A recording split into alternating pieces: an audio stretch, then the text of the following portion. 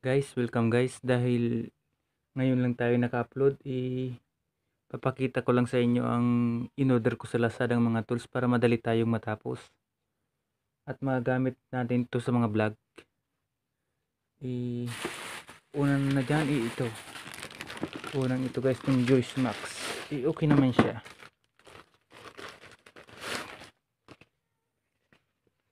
Eh, matagal na to eh. Dineliver pa to ng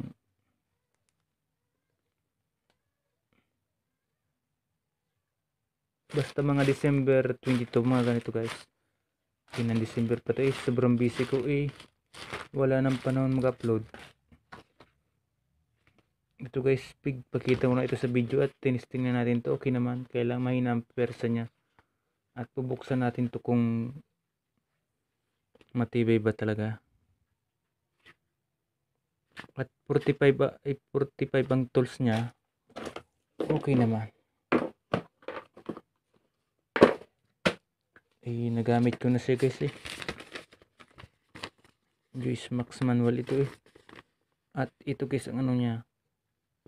No load speed 250 rpm voltage 4.8 input voltage break 220 to 240 50 60 ito guys ang ano niya charger voltage charger wala siyang adapter pero okay naman sa mga umning saksa ano yung saksakan.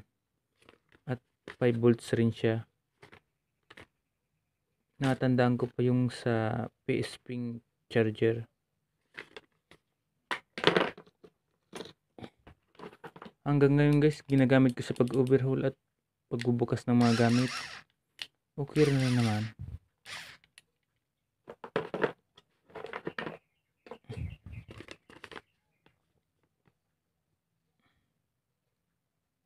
at ang charge nito guys. 3 to 5 hours at nagagamit ko lang siya mga 6 hours. Hanggang 5 hours na siya pero nagamit ko 6 hours pag bubukas ng makina. Ay madali naman. At pag wala pala kayo guys spot sa paggabi ito lang gamitin nyo. I tataw nyo lang to. Ito kasi left.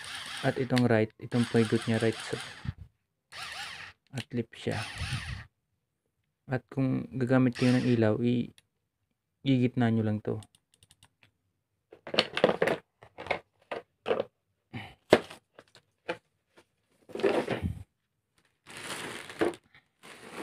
At meron pa si guys ito pa.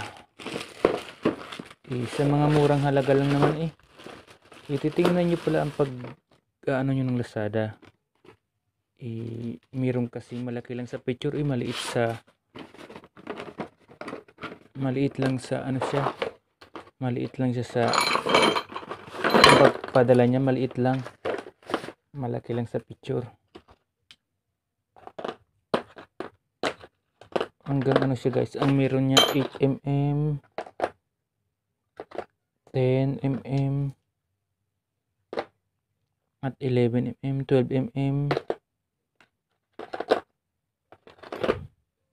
13mm 12 ay 20 21mm ito. At 14mm at 17mm guys meron din siya. At 19mm panghulihan na 19mm oh, okay naman siya guys. Nasa 9 pieces at 10 pieces lahat pati itong pang manual patchid na ito eh.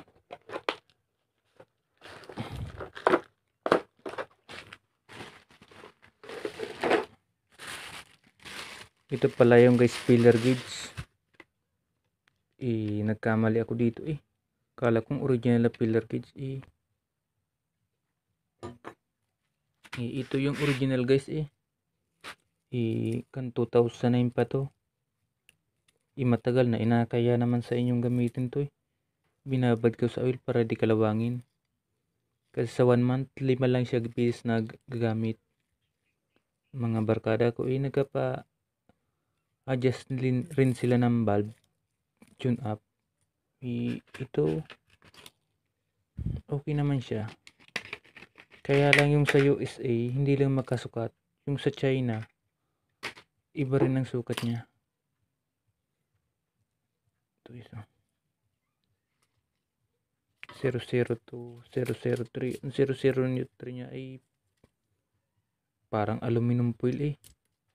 At ang 005 niya ay hindi mo masabi parang mga aluminum foil. Eh, ang 003 niya siguro sa US ing ito. Kasi matagal na to eh. 11 years na to. Ito ang 002 niya. Pang tune up sa mga 110cc scooter.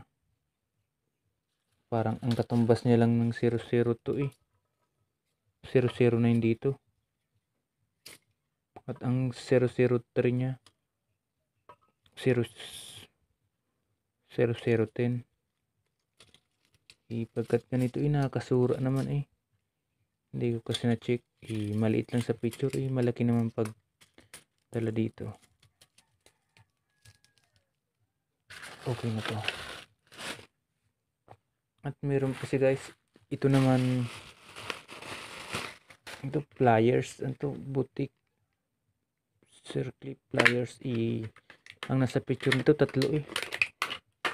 At ang price pala nito ay 252 eh, yung bili kong 2008 eh, 300 ito yung luma. Eh, 12 years na rin to eh, kaya gumamit nito ng pangtanggal ng mga lock zero lock pliers na ito. Ring pliers. At ito naman ang pinadala sa akin eh, isa lang eh. Lazada rin lahat ito. At eh, hindi ko masyado guys na ano ang date niya dito eh. Hindi nakalagay kung kailan pinadala. Basta 5 December pa ito. Okay na rin to. At itong filler gauge na ito, ang price niya ay 270 to 50 lang naman ito. At ito siya guys, ang impact niya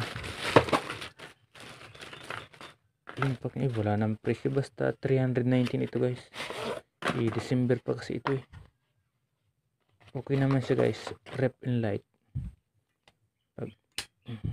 yan sa right siya. Para siyang pag inuumpog tumatakbo siyang pag ganun. Kaya siya in impact impact range. At sa lip naman. Sana ba to? Nasa right nga.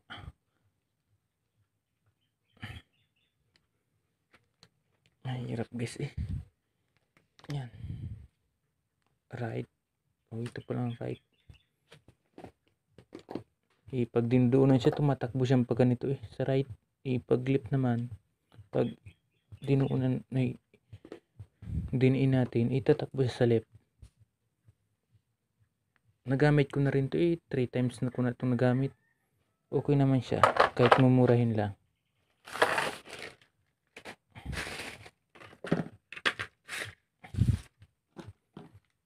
at ito pala guys ang sinasabi ko sa inyo eh. itong gato tawag dito sa amin dito sa naga ay gato eh.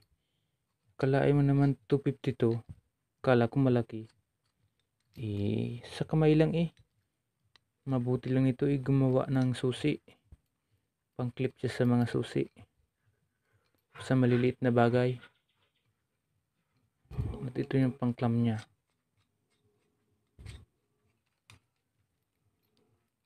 at dalawa naman lang akong na hindi ko rin kasi binusisi sa view all niya eh sa mga comment na pinadala. At ito pa. I 250 ito eh tatlo rin nakalagay sa picture isa lang pinadala. Eh, pwede rin naman tama rin naman sa presyo. Hindi ko rin naman talaga kinuha sa comment eh. Pinakamaliit pa pinadala. At ito tatlo rin to eh. Isa lang pinadala eh, hindi ko rin naman tiningnan sa comment niya. Eh, parang na-scam na rin tayo.